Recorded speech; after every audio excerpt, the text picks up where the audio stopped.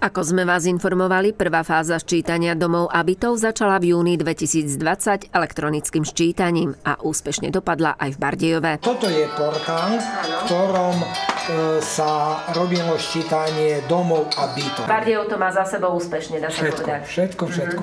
Tu si vyťahnem ktorúkoľvek mestskú časť, ulicu. Ja tu vidím každý jeden dom.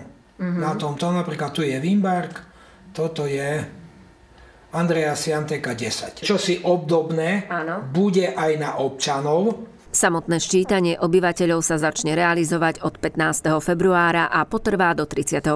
marca.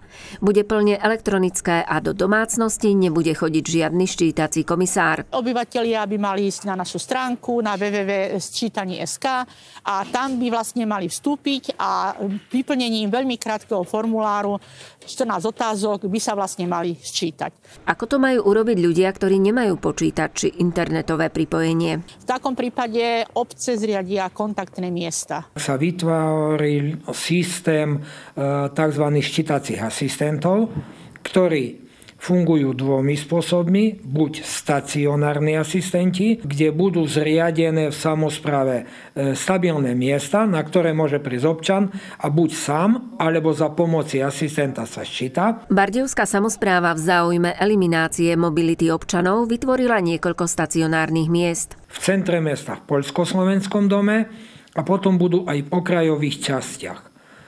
Na poštárke Bardejovskej Novej Si, Dlhej Luke a Bardejovských kúpeľoch. S tým, že sme prispôsobili e, časy tak, aby tí ľudia tam boli vyťažení a zároveň, aby sme umožnili aj tým ľuďom, ktorí pracujú napríklad do 16.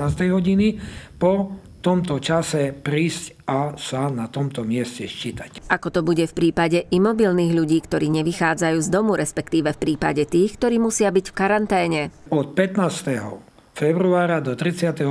marca bude prebiehať iba samoščítanie a keď sa ukončí problém s covidom, vtedy sa započne so sčítaním asistenčným, ktoré by malo sa ukončiť predbežne do konca oktobra. Termíny na tieto ščítania sa dohodnú medzi predsedom Slovenského štatistického úradu a hlavným hygienikom.